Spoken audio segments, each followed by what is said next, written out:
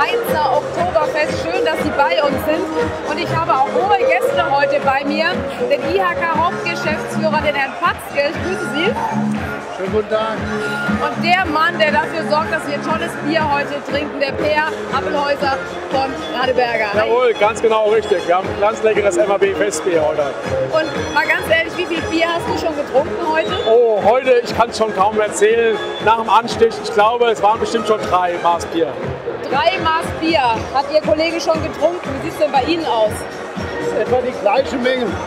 Okay, also das heißt, trinkfest sind Sie beide. Absolut. Jeder von Ihnen bekommt zwei Maß Bier. Oh. Und das müssen Sie natürlich mit ausgestreckter Hand halten.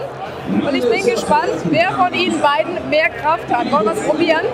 Wollen wir es gerne probieren, ich bin mir sehr sicher, dass ich gewinnen werde. Okay, Herr Patzke, Sie sind bereit?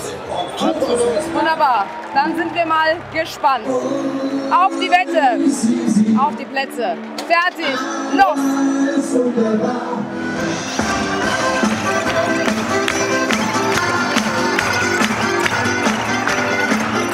Jawohl, lass es gut schmecken. Wir trinken das mit der Zeit aus. Dann gratuliere ich Ihnen zum Gewinner.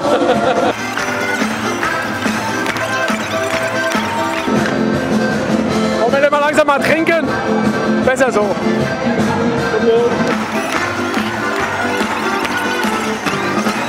Ihr habt beide gewonnen, habt ihr so toll gemacht. Vielen Dank. Da ich ja jetzt von jedem von euch ein Bier versprochen bekommen habe, habe ich zwei Wahres Unentschieden. Faires Unentschieden, jawohl. Also, ich würde